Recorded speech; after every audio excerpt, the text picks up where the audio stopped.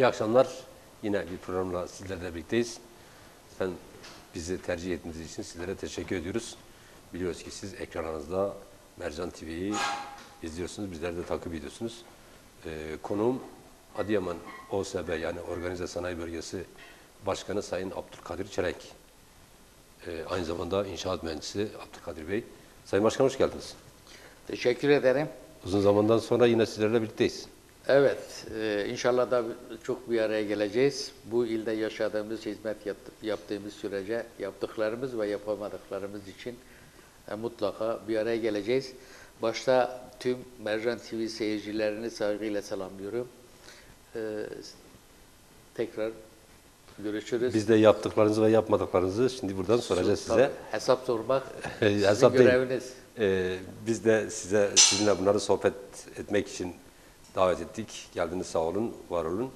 Efendim e, tabii pandemi biraz eskiye rağmen e, kısmen de olsa işte serbest dolaşımlar e, süresi uzatıldı. Pandemi döneminde siz organizede e, nasıl bir yol izlediniz? Şimdi tabii ki pandemi e, yani e, bu ulusal e, olmayan evrensel bir e, rahatsızlık oldu. Tüm dünyayı etkilediği gibi bizi de etkilemişler. Hele hele bir buçuk ay biz bayağı panikledik organize sanayi bölgesi olarak. Çünkü geleceğimizi göremiyorduk. Bir buçuk ay sonra toparlandık. E, eskisinden daha iyi bir şekilde çalıştık. Yalnız şurada e, sağlık emekçilerinin hakkını yemememiz lazım. Şimdiden Sayın Valim ve Sağlık Müdürüm tüm sağlık çalışanlara minnet borçluyuz. E, gerçekten bizlere Şu anda Adıyaman Organize Sanayi Bölgesi'nde 20 kişi fabrika fabrika girip e, sıra beklemeden tüm o sebep çalışanların aşısını yap- yapmaktadırlar. Pazartesi günü aşıların tamamı bitecek ve orada 14-15 bin kişinin üzerinde e, çalışanımız var. E, pazartesi günde itibaren hepsi aşılanmış olacak. Tekrar kendilerine çok teşekkür ederim. E, bu başarı elbette ki sağlık çalışanları ve Sayın Valimin, Sayın e, Sağlık Müdürü'nün başarısıdır. Kendilerine burada e, teşekkürleri, bir minnet borcu biliyorum. Evet, çok önemli bir e, Evet, e, hizmet. Gerçekten biz de buradan Evet, yani Sağlık, sağlık, sağlık. çalışanları e, sağlık çalışanları, çalışanlarını kutluyoruz. Evet. E, bu uğurda canını da feda eden e, sağlık çalışanlarımıza da Allah'tan rahmet diyoruz. E, ailelerine sabırlar temenni ediyoruz. Tabii bir e, fabrikada çalışan işçilerin sayısı bir hali, hayli yüksek, yüksektir.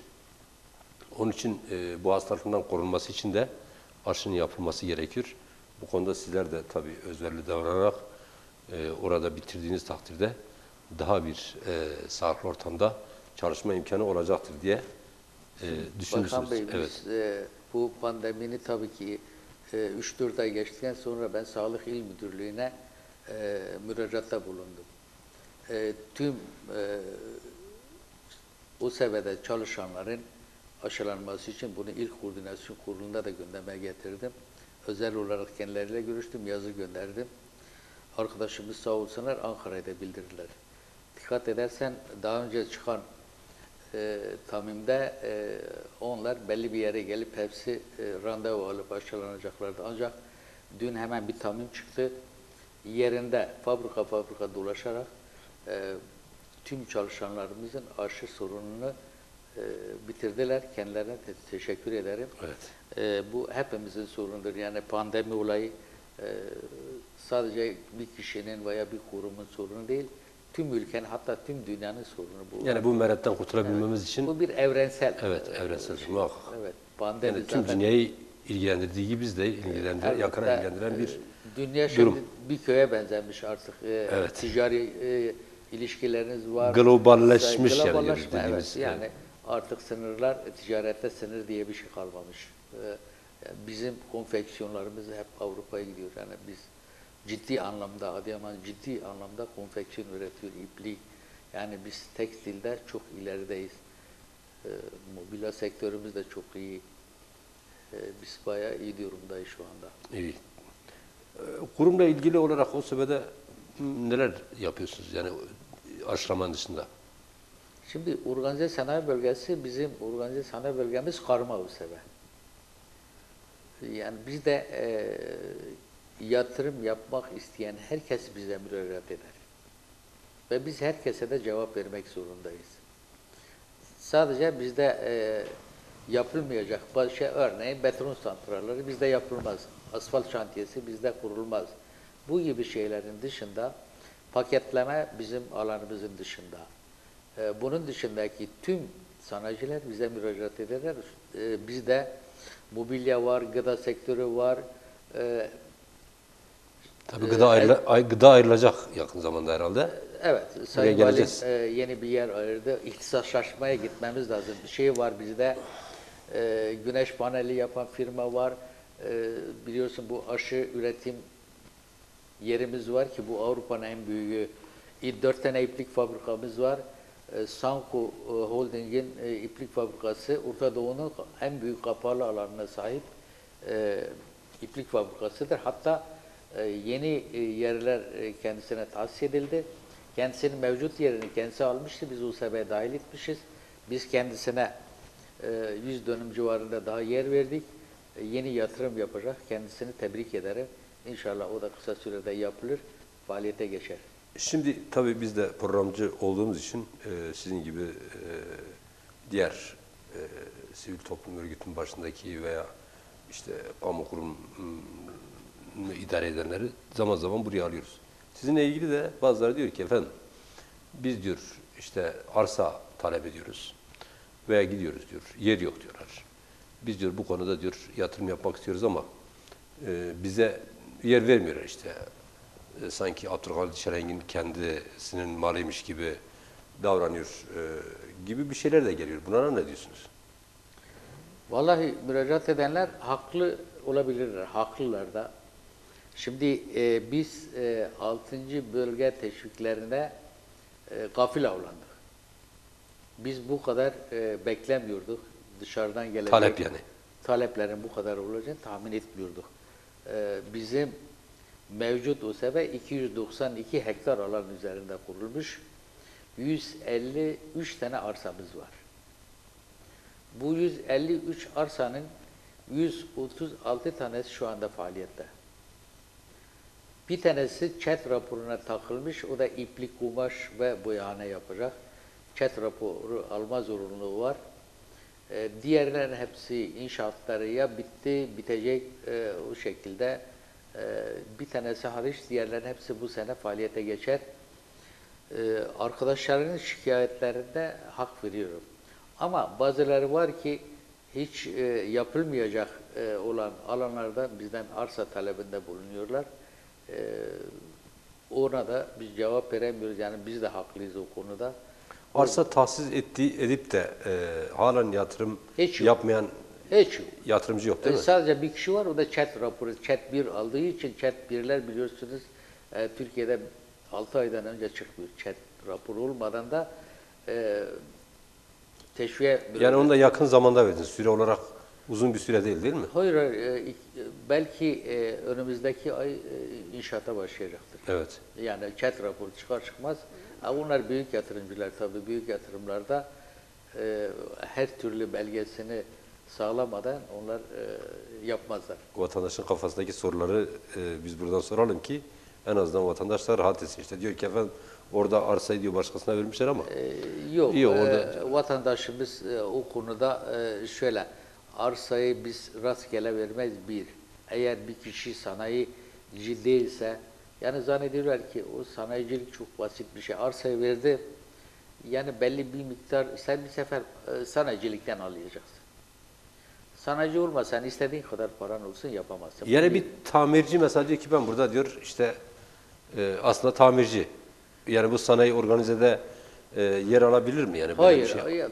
bize bak size bir şey. Dünden beri e, bir tane vatandaşla e, biz takışıyoruz. Diyor ki ben kargo için yer kiralamak istiyorum. Biz kargoya veremiyoruz. Ambar için yer kiralamak istiyoruz. Biz ambara veremiyoruz. Yani orası depo olarak kullanamazsın. Depo alanlarına biz veremiyoruz.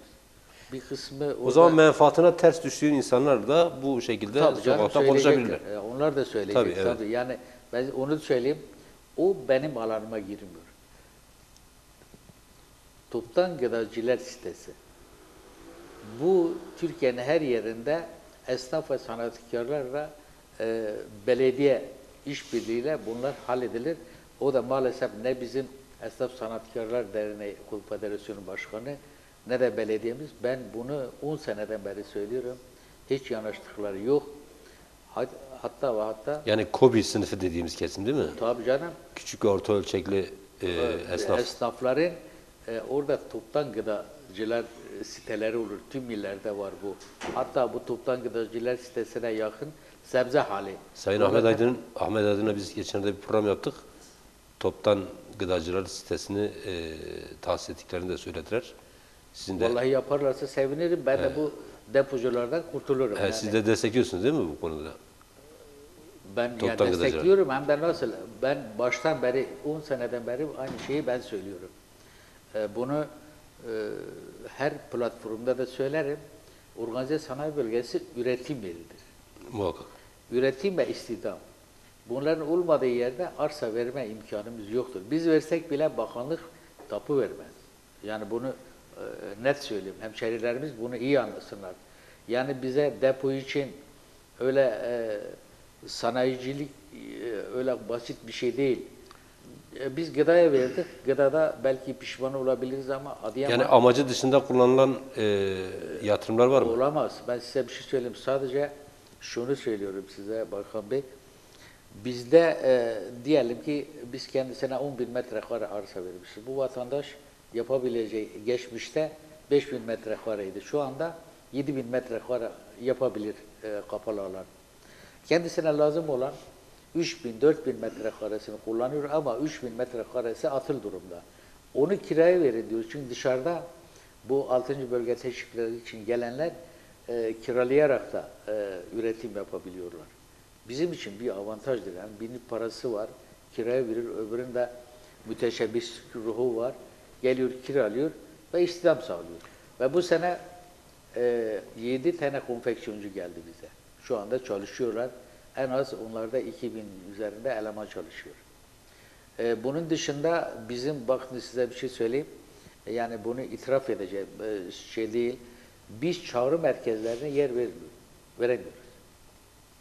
Ama Adıyaman için biz bunu da şey yaptık. İstihdam açısından. Sosyal dolantı alanlarında biz kendilerine yer verdik. Şu anda bugün bir kişi daha gelmişti. Üç tanesi çalışıyor. Orada e, 1600-1700 kişi çalışıyor. O yeni gelen arkadaşımız da e, bir 300-400 kişi istihdam edecektir. Yani 2000 civarında sadece çağrı merkezlerinde çalışıyor. E, Bu da önemli bir rakam yani. ya bu bizim e, yani Tabii. e, bence Gölbaşı USB'de bu kadar eleman çalışmıyor. 2000 kişi çalışmıyor. E, Adıyaman e, USB'nin 15-16 bin varmasının e, nedenlerinden biri de akılcı davranışımızdan. Yani e, eskiden yasamızda bir arsada bir abone ancak verebiliyordu. Sonra yasa değişti, birden fazla e, abone verebiliyoruz. Yani bir arsada birden fazla üretici bulunabiliyor. E, onun için kiralamada hiçbir sıkıntımız kalmadı. E, gelen herkese e, boş yeri olan kişilerin de kiralayıp da veriyoruz. Yani orada da büyük istihdam sağladık. Beşinci sıra, altıncı sıra, beşinden altıya geçme noktasında böyle bir bocalama oldu mu? E, arasındaki farklılık nelerdir? Bu eski yatırımcıya e, karşı eski yatırımcı bu durumda e, ne aşamada? Şimdi Bakan Bey ben şunu söyleyeyim.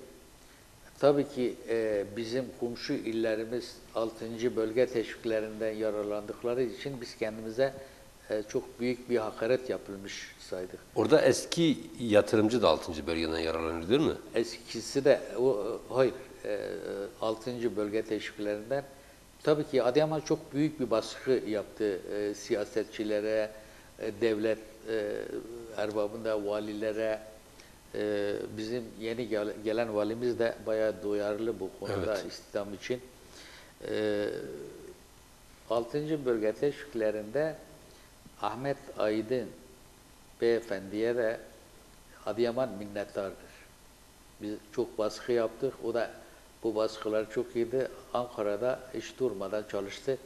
Biz ancak 22 cazibe merkezi illerden sadece Adıyaman 6. bölge teşviklerine girdi. Ee, Bundan dolayı da kendisine teşekkür ederim. Ee, Bayağı e, ilgilendiler. Tek Adıyaman 6. bölge teşviklerinden yararlanıyor. Diğerden hiçbiri yararlanamıyor. Evet. Yani tabii Adıyaman için kim Ee, elini taşı altına... söyleyeyim. Eski e, yeni yapılan yatırımlar tabii 6. bölge teşviklerinden yararlanıyor. Hepsi de yararlanıyor. Ama eskileri yararlanamıyor. Bu bunun bir itirazını yaptık. değil mi? Evet. Biz bunun iti- itirazını 4562 sayılı yasadan da onlar yararlanır dediler. Yani onlar başka şeylerden yararlandılar, teşviklerden. Yeni yapanlar da 6. bölge teşviklerinden yararlanıyorlar. Bana göre bir haksızlık oldu ama e, çıkan yasaya da boyun emek zorundayız. Yani itirazımızı yaptık. İtirazımız kabul olmadıysa e, buna da razı olduk ki 6. bölge teşviklerinden Ama yine de eski yatırımcıya e, yönelik çalışmalar da yapmanız e, gerekiyor. yapıyoruz ama e, inşallah onu da beceririz. E, yani yeni onlar da çoğu e, şey yapıyor, başka şeyler yapıyor. Yararlanıyor yani bir kısmı ama e, çok büyük. Mesela Sanku yararlanamıyor. E, güçlü grubu yararlanamıyor. İnternet yararlanamıyor. Çok büyük firmalar, köklü firmalar bunlar isim de değiştiremezler. E, Yücel İplik yararlanamıyor. Yani büyük bir şey var burada. Tabii ki haksızlık var. E, orada Yani sigorta, ki- işçi çalıştırıyor sigortada, enerjide, her türlü şekilde bunlar Bakan Bey sana bir şey söyleyeyim. 6. bölge teşvikleri deyip geçmeyin. Sadece sigorta değil.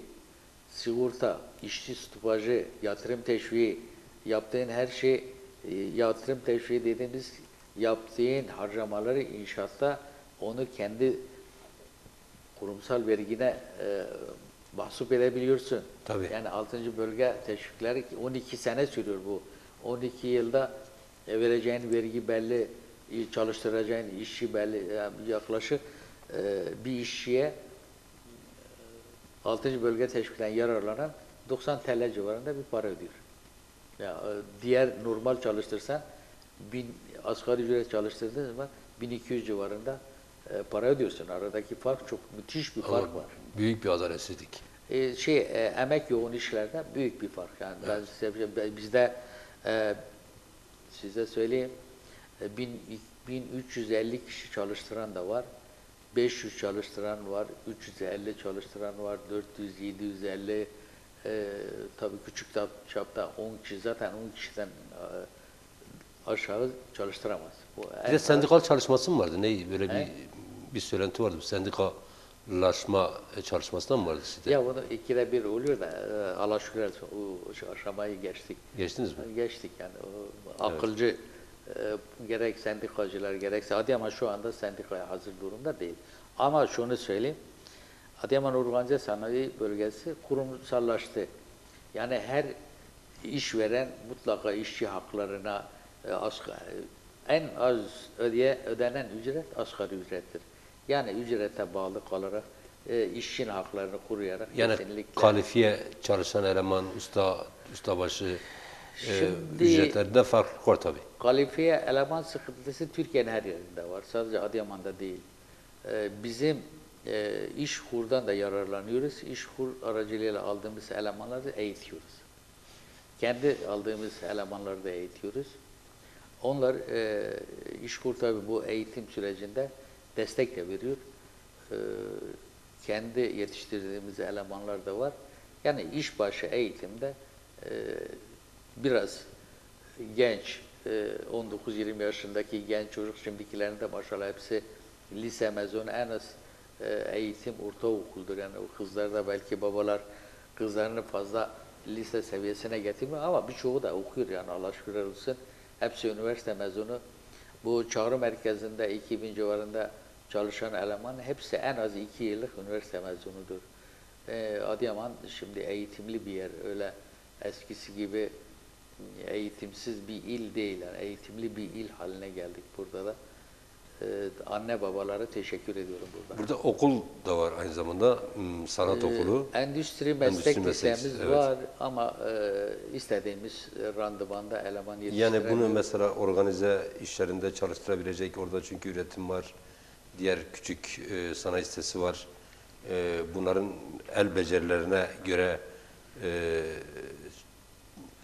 iş görmeleri lazım yani bunların Şimdi, ortama girmeleri e, lazım. Aslında bizim e, Organize Sanayi Bölgesi uygulama yönetmenliğinde e, Organize Sanayi Bölgesi içerisinde kurulan eğitim tesislerinin hepsi e, Organize Sanayi Bölgesi yönetimlerin tasarrufundadır.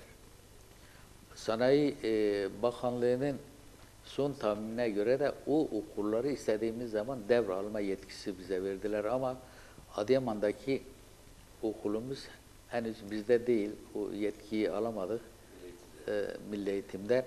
Yalnız bunun yanında e, Adıyaman Valiliği, belediye, üniversite, e, ticaret sanayisi ve organize sanayi bölgesi ortaklığında ASKEM adı altında bir işçi eğitim yeri kurduk. E, o da e, zaman zaman eğitim kursları veriyor. Onlar da tabii ki yardımcı oluyorlar bize. O sebepte son zamanlarda başka ne gibi gelişmeler var? Organize sanayi bölgesinde son zamanlarda bayağı e, yeni yeni e, fabrikalar açıldı. E, genellikle yani şu anda 136 tane e, çalışan e, fabrikamız var. 136 tane e, arsada çalışan elemanımız var. Ee, şey fabrikatörümüz var ama birçok fabrikada birden fazla eleman e, şey çalışıyor, fabrikatör çalışıyor. Yani 136 tane e, fabrikada en az 170-180 tane e, sanayi tesisi var. E, 2021 yılında zannedersem onun üzerinde yeni fabrikamız açıldı. Çoğunluk emek yoğun işler. Yedi tanesi şey, konfeksiyon, e, gıda var. E, ya Adıyaman'da Ne kadar istihdam sağladılar? şu anda Adıyaman'daki istihdam sayımız benim tahminim bizde çünkü işkur ve e, e, itiraf edin biraz da Suriyeli vatandaşlarımız da çalışıyor ki onlara iş vermek zorundayız. Onlar da artık vatandaşımız. Ekmeği için oradan gelmiş vatanını terk etmiş, vatansız kalmış. Onlarla ilgili siya- e, şey e, gerekli prosedürler Prosedürler tamamlanıyor mu çok yoksa ağır ama yok şey. Ee, yani iş- şimdi diyelim- bazen prosedürü yerine getirmeden de çalıştırılıyor. ama bu bu sakıncalı değil mi? Sakıncalı ne yapalım arkadaşlar? Yani bu bir itiraftır. En büyük sakınca savaştır. Savaşta sakıncayı yaratmazsan Yani bu şimdi- sakıncaları biz de yaşamazdık. bir de bizim yerli yerliler boş gezerken Hayır, Suriyelileri yerli- de onlara da veriyor şey musunuz? Evet. Şimdi e, birazdan değineceğiz galiba oraya. E, genç kızlarımızın hemen hemen bize gelen hepsini işe yerleş- yerleştiriyoruz. Yani bizim eskiden kızlara iş yoktu, şu anda erkekler işsiz kalıyor. Belli yaştan sonraki gelenlere biz iş veremiyoruz. Örneğin e, inşaat sektörü sıkıntıya girmiş, e, 40 yaşından sonra adam gelir bana söylüyor, benim güvenlik, herkeste güvenlik sertifikası var şu anda. Ben işte ehliyetim var, bir de temizlik yaparım. Şimdi organize sanayi bölgesi bu tür şeylere cevap verecek kapasite. Bizim 12 tane güvenlikçimiz var. Bizim emniyetten aldığımız yetki bu kadar. 12'den fazla güvenlikçi alamıyoruz. Ha diğer kurumlar alıyor ama herkes güvenlik sertifikası alma. Herkesin ehliyeti var şu anda. Ee, bunlar değil. Bize genç elemanlar, özellikle erkek ve kızlar e, müracaat eden yüzde 99'unu yerleştiriyoruz işe. Beceri e, alanında biz kendilerine Yani konu, bu, e, o sebedeki işletmelerde bulunan fabrikalarla ilgili el bir becerisi varsa, bir ustalığı varsa, bir bilgi birikimi varsa siz bunları bir yerlere Tabii yönlendiriyorsunuz. canım öyle şey hemen e, bizim e, sanayicilerimiz yetiştiriyorlar bu, bunu e, kendileri bizzat yetiştiriyor. Yani birçoğu 2-3 haftada adapte oluyor ve e, makine başına geçiyor. Ne güzel. Ee, biz tabii bununla ilgili yeni bir şey daha başlattık. Sayın Valimin öncülüğünde Adıyaman Belediyesi Organize Sanayi Bölgesi ortaklığında bir de Kalkınma Ajansı'nın desteğiyle e, biz ayakkabı sektörünü Adıyaman'a Onu getirmeyi düşünüyoruz. sordum, siz, yani soracaktım da çünkü siz e, bir görüşme, ayakkabıyla ilgili bir e, görüşmeye gittiniz İstanbul'da mı? Yaklaşık 10 gün önce İstanbul'a gittik. Evet. İstanbul e, Adıyamanlar var. Oradaki ayakkabı sektöründeki hemşerilerimizle görüştük. Dışarıdan gelenler de var. Biz kendilerine 30 dönüm yer tahsis ettik. E, Kalkınma Ajansı 18 milyon e, civarında e, para tahsis etti. E, kalan kısmı da biz bedava da arsa veriyoruz. E, 2 milyon TL'yi de e, biz ilave edeceğiz. O inşaatı bitirip onları geldikleri zaman Gelme ihtima hazır inşaata. gelme ihtimali var mı? Tabii onlarla biz şey yaptık, görüşmeler yaptık. E, gelecekler. Evet, yeni bir OSB gerekiyor. Bununla ilgili çalışmalarınız Şimdi var mı? ben 5 senedir, 5-6 senedir yeni USB diyorum. Çünkü bakınız bugün hazırlıksız yakalandık dememin sebebi bu. Bizim kuzey tarafta e, ormanlık alan vardı. Ben sayısal değerle, değerlerle birlikte Orman Müdürlüğü, Sayın Valimizi, geçmişteki valilerimizin döneminde müracaat ettim. Ee, gitti bölge müdürlüğünden de kadastroya gelip ölçüm yaptılar. Ahmet Bey de takip etti bu işi. Ee, bize dediler ki bu iş tamam. Biz de sevindik. Meğerse bizim talep ettiğimiz yeri değil. En gebeli insanların gezemeyeceği e, yerleri bize tahsis etmişler. Düz alanları çıkartmışlar. Bizim gösterdiğimiz yerin tam tersi. Yani şunu size söyleyeyim Bakan Bey. Birileri örneğin organize sanayi bölgesi benim babamın malı değil. Adıyaman'ın hatta Türkiye'deki tüm sanayicilerin ortak malıdır. Oh. Talep eden herkese arsa vermek zorundasın eğer arsan varsa. E, orman bizim hepimizin ortak malı. Milli emlakın arazileri vatandaşın ortak malıdır, devletin malı. Devletin malı da hepimizin. ihtiyaç doğdukça devlet bunu vatandaşa vermek zorunda. Nedense bizde bölge müdürlükleri Adıyaman'da olmadığı için bayağı zorluklarla karşılaşıyoruz. Bizi kandırdılar. Türkiye'nin başka yerinde olsaydı o bölge müdürü Adıyaman'a gelemezdi. Açık ve net söyleyeyim. Aynı şey ben burada söylüyorum. Adana Yine de aldınız mı e, yoksa? Almadık ben. e, Daha e, o iş e, biraz aynı yerde direniyorum. Şunu size söyleyeyim. Ben burada söylüyorum.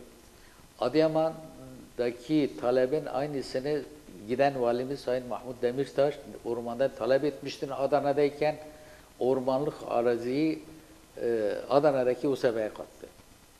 Samsun'un Kavak ilçesinde organize sanayi bölgesinin şu andaki yeri daha bu sene tahsis edildi. Ağaçtan geçilmiyor. Müthiş ağaç var orada. Peki bu Adıyaman'a geldiği zaman orman da oradaki nasıl şey o ağaçlar benim alanımda ağaç yok. Sadece tapusu 1980 sonrası biliyorsunuz Adıyaman'daki e, özel idareye ait e, olan veya işte milli emlağa ait olan yerlerin hepsi ormanlık diye Ergenekon'un bize işte e, verdiği en büyük zarar mı diyeyim, yarar mı diyeyim işte 12 Eylül'ün bize getirdiği en büyük sıkıntılardan biri bu. Ve e, milli emlakın malların yüzde doksanını ormanlık alan diye Yani orman, ettiler. ormanlık da olsa, kaya- Ormanlık kayalık da olsa, Sadece- dağlık da olsa, şimdi o sebede iht- e, istihdam önemli. Tabii. Yani buraya gelen yatırımcı en azından bir yer bulup orada e, bir fabrikasını, teşkilatını kurması lazım. Yani bunu mesela diyelim bazı yerlerde dağları kırıyorlar, kayaları kırıyorlar, toprağı getirip koyuyorlar. Ondan sonra sera yapıp bizim buralara kadar da domates, salatalık şunları buraya gönderiyorlar. E, şimdi yani bunu Adıyaman için düşünmek lazım. Öyle e, birileri kalkıp yok işte burası orman, burası bilmem ne kayalık deyip de Bey, her, her ilin özeli var. Adıyaman toprak bölgesidir, tarım bölgesidir, sanayi bölgesidir. Karadeniz çay bölgesidir. Ormanlık alandır. Akdeniz narenciye yeridir. Şimdi bizim Adıyaman'ın her tarafı sulanabilir tarım arazisi diye geçer. Peki bu tarım arazilerini sen tarımda yetiştirdiğin tarıma dayalı sanayi nasıl geliştireceksin? Eğer sen çevre düzeni projesinde veya belediye çevre düzeni e, projesinde kendi organize sanayi bölgesini göstermemişse, toptan gıdacılar sitesini gö- göstermemişse, bu suç benim mi, belediyenin mi? Veya DSE'yi şu anda toplulaştırma yapıyor. DSE'yi her tarafı sule, sulayacakmış gibi. Bak 1960'lardan beri Adıyaman tüm toprakları sulanacak diye söyleniyorlar. Şu anda yüzde 17'si sulanır diyorlar ama bizim ben de sulu tarım yapıyorum. Sulu tarım dediğim zeytin ağacı dikmişim. Kuyudan aldığımız suyu elektrikle çalıştırdığımız suyu suluymuş gibi gösteriyorlar. Birkaç tane gölet var. var. Onun dışında hiçbir şey yok. Çamgazi Barajı'nın ne önemi var? Yeni yeni. Size bir şey söyleyeyim. Gümükan, Koçalı, Çetintaş, yeni e, büyük e, çay barajı Kahta'daki yeni e, proje safhasında ihalesi yapılacak. Şu an proje şeyi bitti. Projeleri bitti. Çataltepe miydi o? Ee, Çatal da valla bilmiyorum. Evet. Evet. evet. O da yapılacak. Yani doğru Adıyaman her tüm arazileri sulanacak ama ne zaman sulanacağı belli değil. Fakat DSİ bu sulama projelerini yaparken veya toplulaştırma yaparken hiç mi düşünmez ya? İnsan e, bir organize sana bunları sen işleyerek göndermezsen domatesi burada yetiştirdin. Sen bu domatesi nereye göndereceksin? Burada eğer sen salça fabrikası yapmazsan domatesi ne yapacak? Ne kadar nar olursa olsun sen narı ne burada kadar nar üretmezsen olursa evet. olsun bu narla ilgili soğuk hava deposu, e, nar ekşisi yapan fabrikalar bilmem e, buna benzer narla ilgili e, bir şeyler yapmazsan burada yerinde sen narı buradan gönderip de Konya'da mı e, soğuk hava deposunda saklayacaksın? Bunları biz organize sanayi bölge- bölgesi düşünmeden tarımın e, tarımdaki sulamaların hiçbir yararın olmayacağını ben söylüyorum. Şimdi geçen geçen bana bir e, biri geldi dedi ki siz dedi size bir şeyde bulunayım dedi bir şikayette bulunayım dedi. Neyle ilgili dedim dedi ki elektrikle ilgili. Tabii bizim bir yaptırma gücümüz yok ama biz buradan dile getiririz. Dile getirdiğimiz zaman da yetkililer, etkililer bunu gündemlerine bazen alıyorlar. E, adam 100 baş hayvan e, almış, hayvancılık yapıyor. Ancak merkeze yakın da bir köy yani belki 2-3 kilometre bir şey. Adamın bu işletmesinde elektrik yok. Jeneratör almış, jeneratörle elektrik e, çekmiş oraya. Yani ben diyor ki süt sağamıyorum. Ben rahat bir şekilde gidemiyorum. Ben diğer o yem karma makinesini çalıştıramıyorum. Ya diyor ben burada yatırım yapmışım yani ben 100 tane 150 tane hayvan var diyor. Ben e, hem bir taraftan teşvik ediliyor diyor. Ben yapıyorum diyor. Ama diyor elektrik bu konuda bana zorluk çıkarıyor diyor. Bana elektrik vermiyor. Yok efendim diyor ki bunu wattı düşük veremem ya. Yoksa yapacaksın kardeşim yani. Bu konuda da çok büyük şikayetler var. Ben yeri de söyleyeyim merkeze bağlı 2 kilometre bir uzaklıkta e, bir vatandaşın e, işletmesinde elektrik yok alamıyor.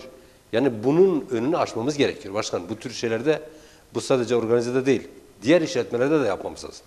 Bakan Bey şunu söyleyeyim size. Şu anda tedarikçi firmalar elektriği sağlıyorlar. Tüm illerde böyle.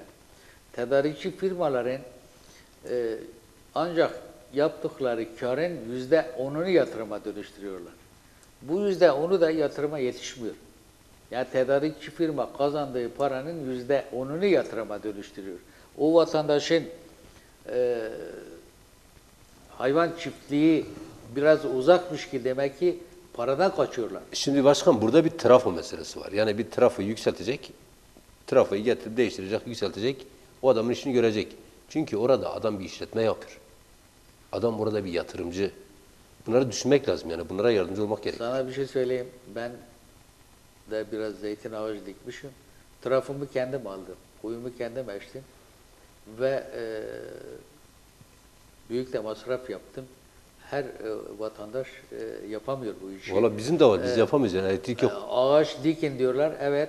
E, bakan buraya geldiği zaman Ziraat Bankası Genel Müdürü de dedi ki 5 yıl masrafınızı biz karşılayacağız. Ben bankaya gittim, bu kredi istedim Zir- Ziraat Bankası'na. Dediler ki senin zeytinin verime girmediği için biz kredi veremiyoruz. E benim zeytinim şeye verime girdikten sonra ben Ama sigortaya giriyor, de- sigortaya giriyor değil mi? Sizin sigorta yapmak için e, sigorta yaptırıyorlar. Tabii sigorta Ha, tabii. yaptırıyorlar. O ayrı. Ama diyor ki senin zeytinin verime girmediği için biz kredi veremiyoruz sana. Kredi al. Halbuki e, şey dedi ki biz ucuz kredi vereceğiz. E, Bankalar Birliği Başkanı Hüseyin neydi? Buraya Berat Bey ile beraber gelmişlerdi e, o zaman. Söz verdiler. Şimdi sen bankaya gidiyorsun, banka ayrı görüşür. E, genel müdür ayrı şey söyledi. Burada biz de neye uğradığımızı şaşırdık. Diyor ki senin e, zeytinin daha verime girmediği için biz sana kredi veremiyoruz veya hibe veremiyoruz, destek veremiyoruz. Böyle bir şey olur mu ya? Benim e, veya vatandaşın hepsi. Siz önce sigorta yapan yapabilir miyim deseydiniz Ha, sigorta, sigorta yaparlar. yaparlar. Ha o zaman O- kredi de ver. Onu yaparlar. Yani ben onu, Bu Kuyulu'da bir e, karma OSB diye bir yeriniz varmış. Yani hmm, bu yer hakkında neler söylemek istiyorsunuz? Şimdi Baykan Bey bu Kuyu'daki şeyi e, benim dışımda. Bu e, özel idare, belediye ve ticaret sanayi odasının önceliğindeki bir şey. Tabii ki bizim de görüşlerimizi soruyorlar. Ben kesinlikle Kuyu'yla yapılacak olan organize sanayi bölgesine karşıyım. Ama ben e, gıda ihtisas USB'ye karşı değilim çünkü az sayıda işçi çalıştırıyor. E, benim de gıda ile ilgili tesisim var. E, Kuyulu'nun Adıyaman'a mesafesi yaklaşık 45-50 kilometre diyelim. Havalarına mesafesi 75-80 arası. Urfa havaalanıyla e, şeyin arası da bu kadar. Tam Urfa sınırında yani Kuyulu'da düşünülen e, organize sanayi bölgesi. Şimdi böyle e, bu işi sanayicilere sormak lazım. Bürokrasiyle bu işler. e, ben yaptım gitti. E, sen yaparsan Adıyaman'ı bitirirsin. Şimdi bir servis şu anda Adıyaman e, organize sanayi bölgesine 1500 ile 2000 arasında geliyor. Kuyulu'daki yapılacak olan organize sanayi bölgesine sadece kendi servisi olmasa olmaz. Eğer sen kiralayıp oraya göndersen e, dönmez. Bu dönmediği zaman da çok büyük meblağlara mal olur. Servis, sadece servis. Bizde e, özellikle emek yoğun işler var. 500 kişi çalıştıran yaklaşık 14 kişi bir servisi alıyor. Pandemi dışında normal şartlarda. E, 500'ü 14'e böldüğün zaman e, ne oluyor? Yaklaşık 20 tane servis aracıydı. Sadece şoför parası, sigortası 5 bin lira ediyor. Biz geçen gün hesapladık. 2 bin lirada e, yakıtı 7 bin lira. Bir de tabii e, servisin amortismanı da var. Satın alacaksın. Yani bir e, servisin sana maliyeti 10 bin lira aylık. 10 bin lira. Yani siz 20 oranın mesafe, çalıştıran- mesafeden dolayı siz Tabii. oradaki giderleri de göz önünde Tabii bulundurarak e, orada zamanın işte e, bir de zaman geçecek orada. Şimdi diyelim bir araba oradan 45 kilometre 50 kilometre Servis gittiği araçları zaman 60-70 ile giderler. En, e, yani E, bir yani- saatten evvel gidemez, bir saatte de gelecek. şehrin diğer bir ucundan kalkıp gittiği zaman biraz daha süre e, saat, yarım saatte de şehir merkezinde işçi toplayıp götürme ve işçi getirip yani dağıtma. nereden baksan bir işçinin günlük 2 saat yolda geçeceğini en az söylüyorsunuz. iki buçuk saati e, verimsiz duruma geliyor. E, ikinci sıkıntı şu, oraya 6000 bin dönüm yer var. Eğer oraya bir USB kurarsan diğer organize sanayi bölgelerinin genişleme imkanı kalmıyor. Bu bir. Evet. Başka yere organize sanayi bölgesi kuramazsın. İki. E, yani buna e, alternatif alanlar Adıyaman'a Adıyaman'a hizmet edecek organize sanayi bölgesi kurmamız lazım. Mermer OSB'sini de soracağım ama özellikle m, gelen mesajlarda çevrenizdeki yerleşim m, yerlerinden e, şikayetler var. O binalardan kokudan dolayı size şikayet, şikayetler var. Buna ilgili neler söylemek istersiniz? Şimdi e, organize sanayi bölgeleri Gürültümüz de olacak. Kokumuz da olacak. Şekil yani e, görüntü kirliliği de olacak. Burası üretim yeridir. Bizim kendi terimiz de olacak. Yani organize sanayi bölgeleri üretim yerleridir.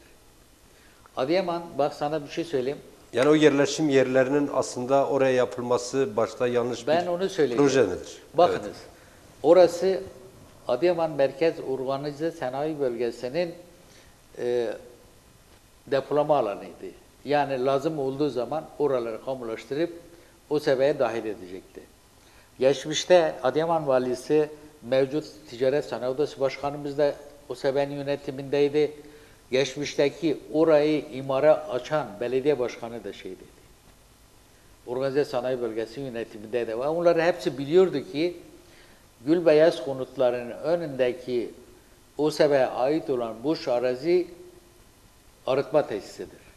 Ve herkes bunu biliyordu. Bu bir. E, Bu Gülbeyaz konutları e, daha yapım aşama ben tabii ki e, o ilk aşamasında ben yoktum. Sonra bana geldiler. İşte bu arıtmayı alın başka yere verin.